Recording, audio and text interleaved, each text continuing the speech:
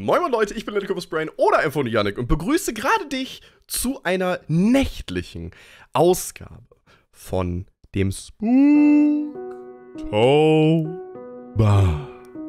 Und ich dachte mir, wir machen heute eine nächtliche Ausgabe. Das liegt natürlich nicht daran, dass ich heute den ganzen Tag gestreamt habe, Resident Evil Zero, was ein unfassbar schreckliches Spiel ist. Freunde, es liegt daran, wir haben heute Abend eine entspannte, kleine Therapiesitzung mit Dr.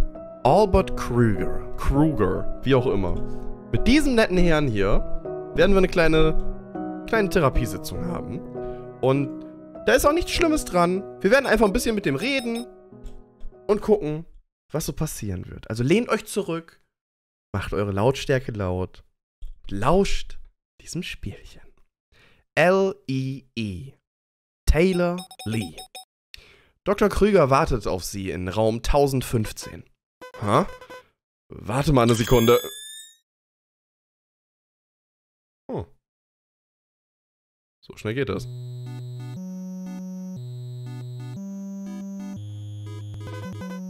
Wo... Wo zur Hölle bin ich? Willkommen zu Krüger Health Solutions Corporation. Wir sind die größte, führende Multispezialität Medi Medi medizinische Gruppe in G2 District. Alright. Ist das normal, dass der Sound immer so... Ich denke schon. Ähm, und mehr als eine Million Patienten kommen jedes Jahr hier vorbei. Ich bin Dr. Albert Gerald Kruger.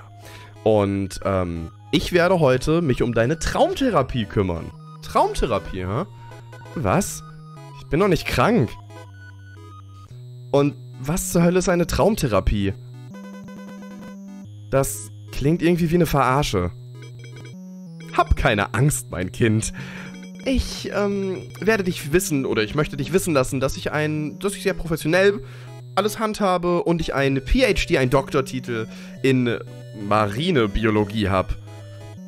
Navy Blue Biologie, um genau zu. I don't know. Sehe ich aus wie ein Delfin für Sie? Bevor wir unsere Sitzung anfangen, äh, möchte ich die ersten einfachen Informationen abfragen. Wie ist dein Name, mein Kind? Taylor Lee. Ich weiß tatsächlich gerade nicht, ganz kurz mal einmal. Ich weiß nicht, ob es daran liegt, dass ich das mit einer Bildschirmaufnahme aufnehme. Und dass das so jetzt vielleicht besser geht. Wenn das denn aufnimmt.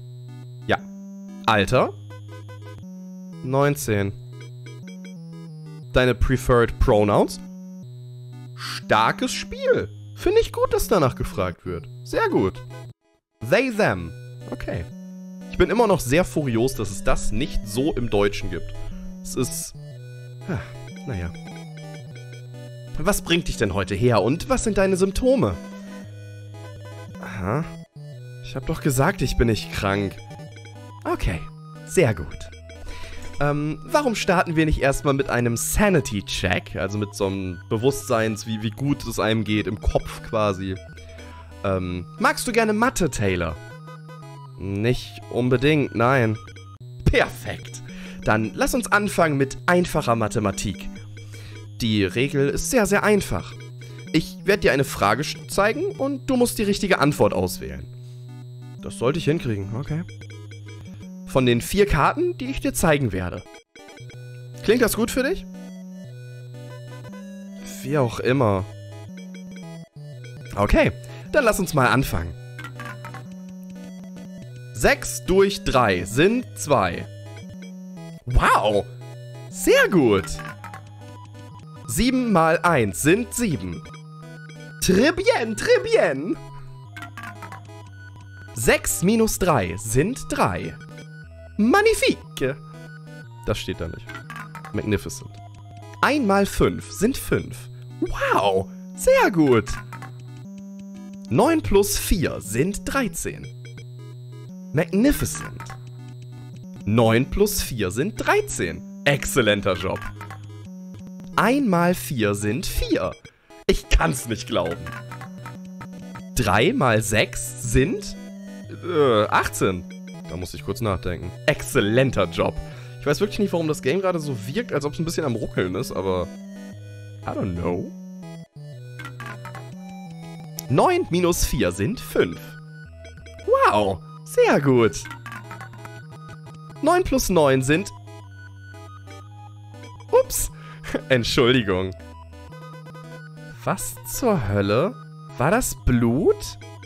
Nein, war's nicht. Das war definitiv Blut. Nein, war's nicht.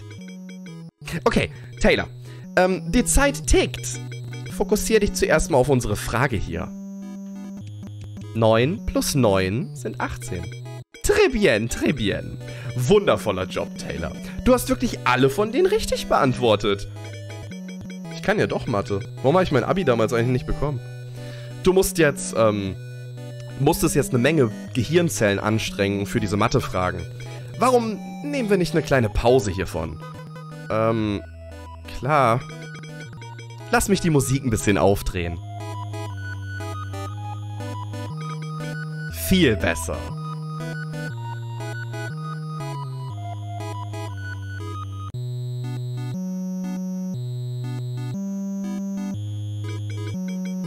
Also, wie läuft's? Ha? Wie fühlst du dich? Ist alles in Ordnung? Äh. Ich bin ein bisschen verwirrt, aber sonst ist alles gut. Wie ist die Schule? In Wirklichkeit eigentlich genauso wie sonst auch immer. Du bist eine College-Studentin, oder? Ja. Sehr schön. Bist du auch von G2? Ja. Ich äh, lebe hier schon mein ganzes Leben lang. Wie ist es mit dir? Bist du auch von hier? Ja, ich wurde auch in G2 geboren. Naja, ich war allerdings hier nicht auf dem College. Ich bin nach G4 gegangen, ähm, für meine zweite, zweite Lehre quasi. Oh, RMU? Ja. Das ist eine echt ziemlich coole Schule. Danke sehr.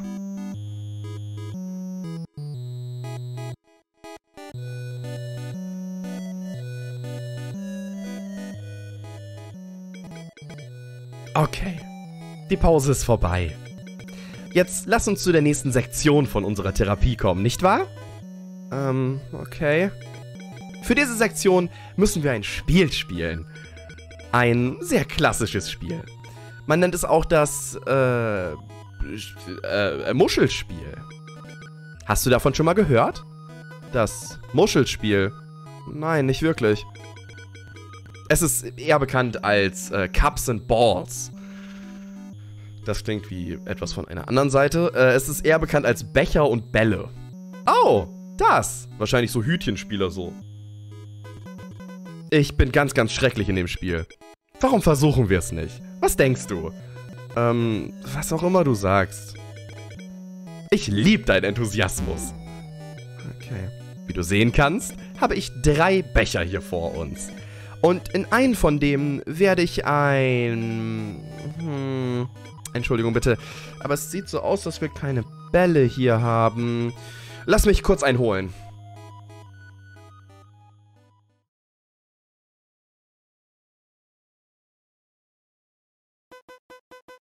Was zur Hölle ist hier eigentlich los?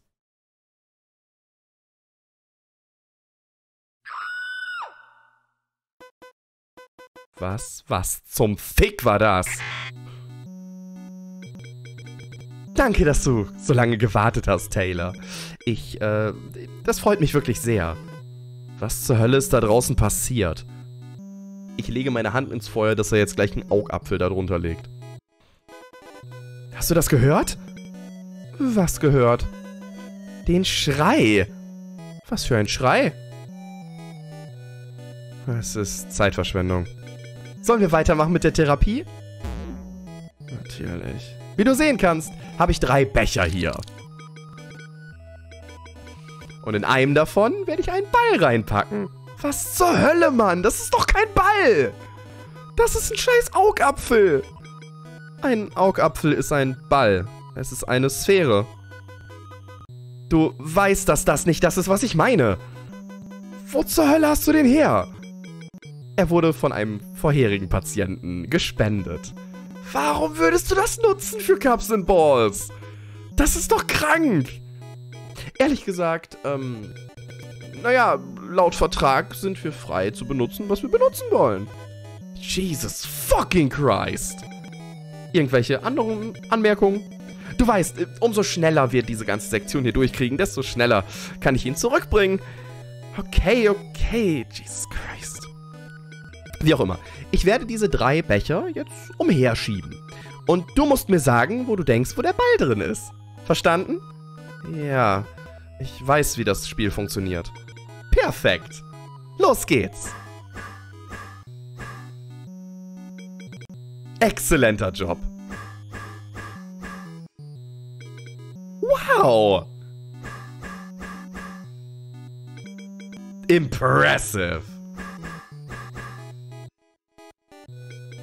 Na! Die korrekte An Antwort ist Tada! Lasst uns nochmal versuchen. Irgendwo bist du bestimmt auch drin talentiert. Die richtige Antwort ist Tada!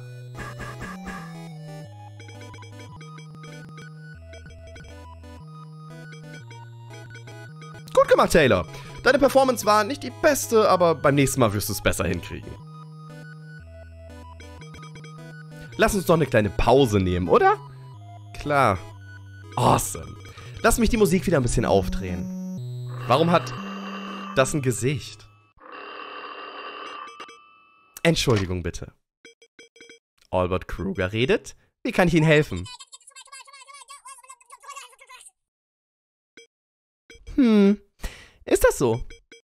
Hm, ich denke, du bist kompetent genug, um irgendwie, irgendwie auf eine Idee zu kommen. Richtig? Nein, William. Wir töten nicht. Ich möchte lieber einen besseren Plan, bevor wir das versuchen. Und jetzt bitte Entschuldigung, ich habe gerade hier einen Patienten bei mir. Tut mir leid, das wollte ich nicht. Ähm, ist alles in Ordnung? Das klang ziemlich ernst. Danke sehr, dass du dir Sorgen machst, Taylor. Ich, das, das gefällt mir wirklich sehr gut. Wir, oh, ja, boah. Das war der Jumpscare für heute, Freunde. Du musst dich aber wirklich nicht, nicht irgendwie sorgen. Ich möchte dir sagen, dass unser Team wirklich sehr gut trainiert ist auf alle möglichen Sachen hier. Ähm, okay, das ist gut zu wissen.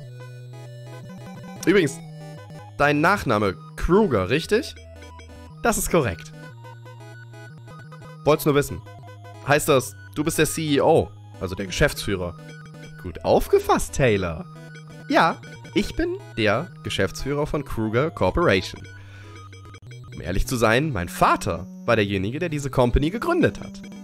All, was ich, alles, was ich getan habe, ist, ich habe einfach nach seinem Tod diese Firma übernommen. Bist du deswegen von G4 hier hingekommen? Um das Business deiner Familie zu übernehmen? Ja, das ist Part meiner Bestimmung. Ich... Okay, okay, verstehe, verstehe. Aber ich muss schon zugeben, ich bin natürlich ziemlich geehrt, von dem Geschäftsführer selbst die Therapie zu bekommen.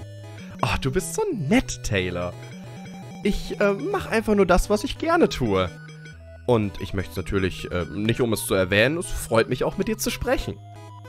Ähm, freut mich. Ich denke, das ist genug Zeit für unsere kleine Pause hier. Auf zur nächsten Sektion? Äh, klar. Diese Sektion ist jetzt ein bisschen anders. Es ist kein Spiel und auch kein Test, aber so kann ich dich ein bisschen genauer kennenlernen. Oder, ähm, wie ich es gerne nenne, der, des, die Autobahn zu deinem Herzen, der Weg zu deinem Herzen. Der Weg zu meinem Herzen. Ja. Ich äh, werde dir eine Menge Fragen stellen und möchte, dass du sie ehrlich beantwortest. Hä? Was für Fragen? Alle möglichen Fragen. Fragen, die... Oh. Na, das will ich nicht. Es ist aber ein ganz wichtiger Bestandteil der Therapie. Man kann das nicht ablehnen. Das ist doch nicht fair, weißt du? Ich hab mich hierfür nicht angemeldet oder so. Warum muss ich dir überhaupt irgendwas über mich erzählen? Hm. Naja, ich denke, ich kann diesen Part vielleicht ein bisschen modifizieren. Ähm, wie wär's, jedes Mal, wenn du dir du etwas über dich erzählst, dann werde ich dir etwas über mich erzählen. Ha. Das klingt nicht schlecht. Aber woher weiß ich, dass du lügst oder nicht? Vertrauen ist natürlich sehr, sehr wichtig zwischen dem Patienten und der, der Therapieperson. Es ist sehr wichtig für die Arbeit und äh, ist weitreichend. Okay, fein, wie auch immer. Exzellent. Ähm, ich habe aber eine kleine Bitte. Du musst deine Augen für diese Sektion schließen. Und egal was passiert, du kannst deine Augen nicht öffnen, bis ich es dir sage. Mache ich das dann auch? Freunde, machen wir das jetzt auch? Kann ich dir vertrauen?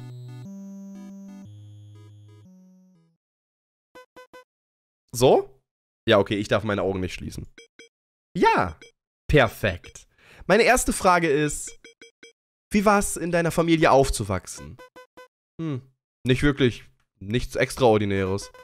Meine Eltern waren Immigranten, die nach G2 gekommen sind, um nach Möglichkeiten zu suchen. Ich hatte zwei Geschwister und äh, wir haben unter demselben Dach mit unseren Eltern gelebt. Manchmal war es ein bisschen stressig, aber es war trotzdem alles in allem wirklich eigentlich eine schöne, schöne Erfahrung. Wie war es bei dir? Wie war deine Familie? Sie war komplett ordinär. Die beiden Elternteile waren sehr berühmte Leute im äh, medizinischen Feld und es waren auch sehr beschäftigte Menschen. Allerdings, was anders ist als bei dir, ich war ein Einzelkind. Ah, okay, okay. Sollte ich meine Augen öffnen? Nein. Meine zweite Frage ist, ähm, wie sehr fühlst du dich vernetzt mit den Menschen um dich herum? Hm. Naja, ich bin nicht sehr be ja, bekannt in der Schule oder sehr, sehr beliebt. Aber ich habe ein paar gute Freunde, mit denen ich mich sehr, sehr gut verstehe. Und meine Familie auch. Wir äh, verstehen uns und respektieren uns auch einander. Das ist gut.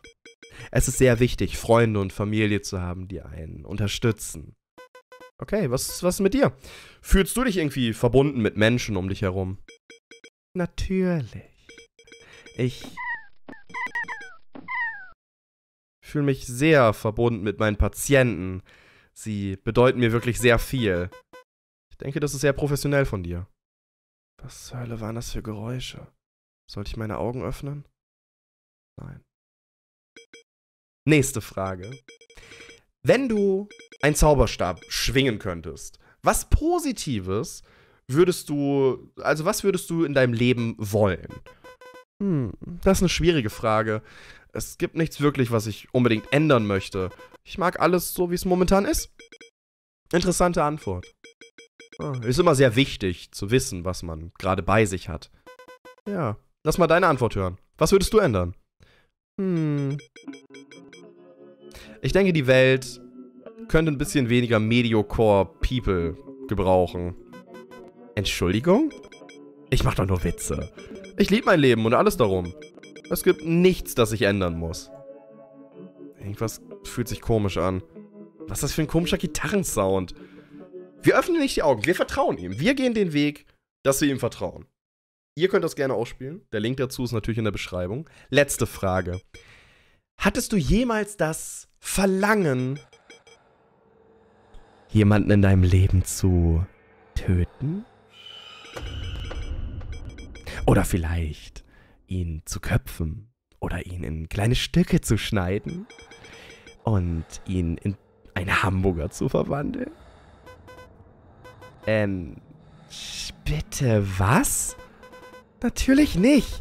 Das ist doch krank. Hast, hast du das etwa? Ich persönlich mag Hamburger nicht so gerne. Deswegen nein. Das, das ist nicht... Ich fühle mich echt nicht gut gerade. Wir öffnen nicht unsere Augen. Danke sehr für deine Kooperation, Taylor.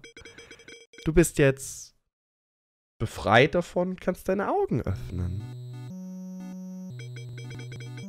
Sollen wir noch eine kleine Pause nehmen? Lass uns die Musik ein bisschen lauter machen.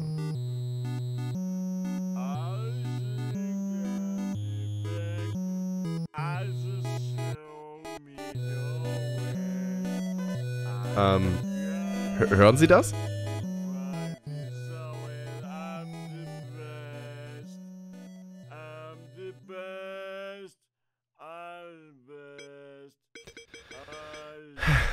Entschuldigung, dass du das mitbekommen musst, Taylor. Wenn du mich ganz kurz entschuldigen würdest, ich muss mich da kurz drum kümmern.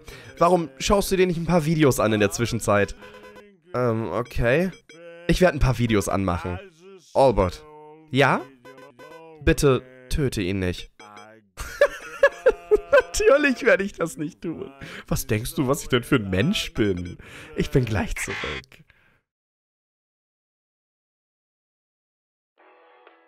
Kruger Corporation. What the fuck, Alter. Das Game ist gut, das gefällt mir.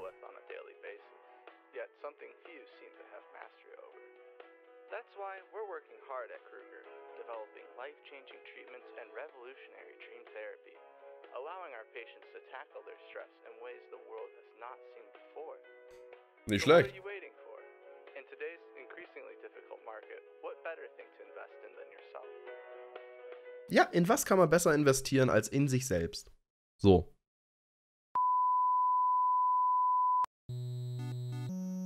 Was war das für ein Bild? Hallo, Taylor. Ich hoffe, dir haben die Videos gefallen. Das war, äh, eine coole Werbung. Danke sehr. Ähm, es ist ein bisschen altmodisch. Ich möchte sie bald updaten. Ähm, okay. Äh, haben Sie alles mit dem Typen geklärt? Ja, alles ist geklärt. Sehr friedlich. Das, das ist gut. Sind wir bereit für die nächste Runde der Therapie? Ja, klar, denke ich. Diese Sektion wird sehr, sehr viel spaßiger als die Sektion davor. Ähm, haben Sie schon mal von dem Rorschach-Test gehört, Taylor? Der Rorschach-Test?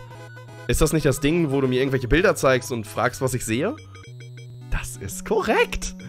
Und es ist ein psychologischer Test, der 1921 äh, erfunden wurde, um halt so bestimmte Gedankenexperimente zu machen und zu sehen, was so im Inneren der Gedanken ist. Und auch die Persönlichkeit, die Charakteristik, und äh, die emotionale Funktion einer Person herauszufinden. Also für diese Sektion möchte ich bitte, möchte ich dir ein paar dieser, äh, dieser, dieser Zeichnungen zeigen und du wirst sagen, was du siehst. Ist das okay? Ja, Kristallklar. Okay, auf geht's. Äh, Bat. Ich sehe eigentlich... Ich kann da auch drauf drücken. Warum drehst du das Papier um, Taylor? Man kann auf jeden Fall interessante Dinge hier machen. Was wenn wir es nochmal umdrehen? Warum drehst du das um, Taylor? Weil da vielleicht hinten was drauf ist. Äh, was könnte es sein? Butterfly. Butterfly. Ist es das, was du siehst?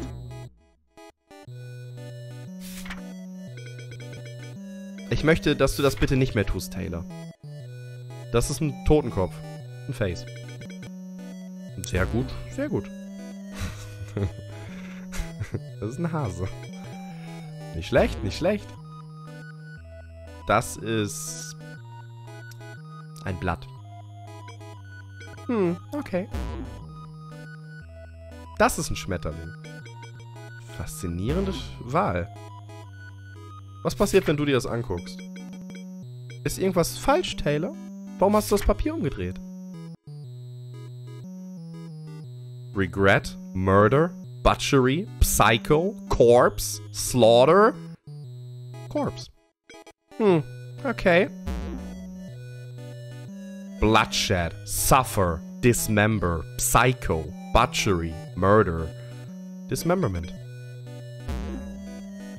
Death, Psycho. Death. Das ist das, was du siehst. Murder. Hm, okay. Gut gemacht, Taylor. Das war wirklich sehr faszinierend. Das Spiel wird immer verrückter. Sehr gut gemacht, Taylor. Sehr gut. Ich bin so stolz auf dich. Ich hasse es, das fast sagen zu müssen, aber wir kommen langsam ans Ende von unserer Therapie. Ich möchte nur sagen, ich, mir hat es wirklich sehr viel Spaß gemacht, mit dir zu sprechen. Und ähm, es freut mich wirklich sehr, dass du die Kruger Corporation gewählt hast. Ähm, ehrlich gesagt, habe ich das nicht, aber ist schon kein Problem. Es war für mich auch sehr interessant, nehme ich an. Es freut mich, dass es dir auch gefallen hat. Das bedeutet mir sehr viel. Darf ich dich etwas fragen, was die deine Lieblingssektion war von der Therapie? Meine Lieblingssektion? Hm, die waren alle ziemlich cool, denke ich. Ach, du bist so nett, Tyler. Ach, es freut mich wirklich sehr, das zu hören. Ähm, könntest du vielleicht diese, diese kleine, diesen kleinen Fragebogen ausfüllen? Das würde mir sehr viel bedeuten. Klar. Wie mochten Sie das? Super. Der Therapist. Toll. Würde ich ihn weiterempfehlen? Klar. Danke sehr. Das war eine große Hilfe. Bevor ich dich gehen lasse, kann ich noch eine letzte Frage stellen? Klar. Was ist es? Wirst du dich selbst für den G2 District ähm, opfern? Aha. Wir brauchen, um eine bessere Zukunft zu bauen, ein paar Leute für den G2 District. Wir brauchen dich, um die hungrigen Menschen zu füttern im Distrikt. G2 ist deine Heimatstadt. Wir brauchen dich, um G2 besser zu machen. Was meinst du mit die hungrigen Menschen füttern? Meine Kinder. Sie sind am Verhungern. Sie werden so dankbar sein. Für immer.